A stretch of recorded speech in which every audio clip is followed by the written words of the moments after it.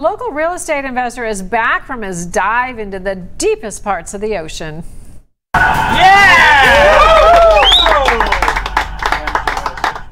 All right, that right there was Larry Connor's voice on the ocean floor in the Mariana Trench. Connor took three dives in a specially built submarine going as deep as 36,000 feet. On the way down, he and his pilot spotted a living Mariana snailfish, and you can see it's pretty small there.